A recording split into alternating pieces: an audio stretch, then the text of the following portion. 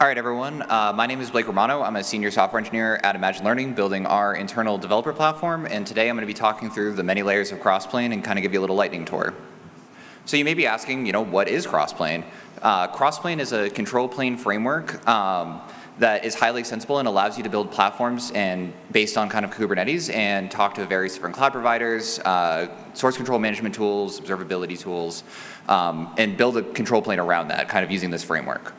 So, you know, you may be asking, great, Crossplane sounds cool, why should I be using it? Um, so coming from Imagine Learning, which we're an education technology company, we wanted to build an internal developer platform to help our developers, you know, deploy faster, move faster, and safer. Um, so with, with adoption of Crossplane, we've seen that deployments are actually happening about 80% faster um, with Crossplane to our cloud resources. Um, and this is due to the way we're able to abstract using Crossplane, using you know composition, composite resource definitions, which is similar to CRDs. And we're also to be able to maintain security, reliability, and cost standards by being able to abstract away all the complexities that, you know, as an application developer, you may say, hey, I don't really need to worry about encryption. You know, the platform can handle that for me. So we're able to maintain all those standards by abstracting all those complexities away through compositions.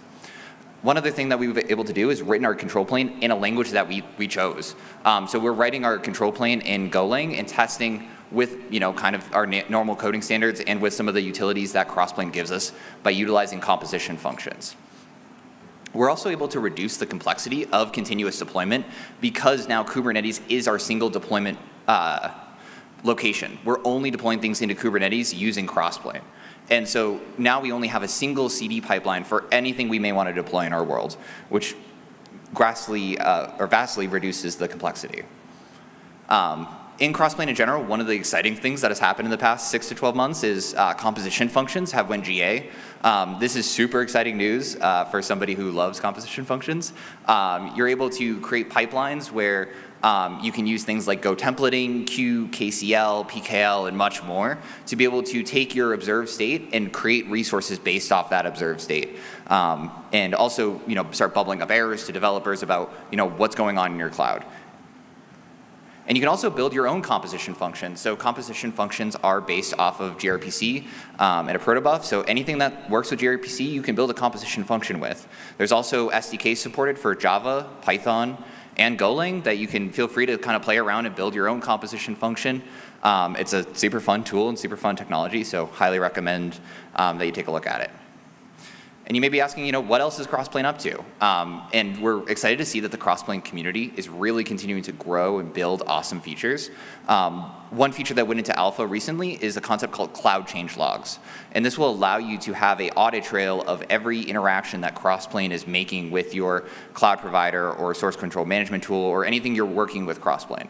You also can now bubble up errors and conditions on claims, which is really helpful for the developers working and interacting with Crossplane to be able to start seeing errors all the way at the top level. There's also been a handful of CLI command improvements to help developers interacting with Crossplane to be able to interact with the tool easier and have a lot more utilities around that.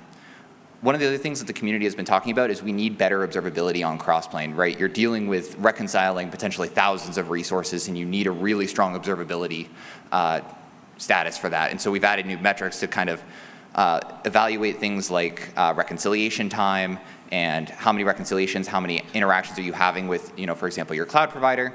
And there's also been some investments in Package Manager um, with the idea of being able to automatically upgrade dependencies and also be able to streamline the, uh, pulling private images and, and, private packages, private repos. Um, and the idea with Package Manager is really, you know, eventually to have a single CRD that can manage your entire control plane.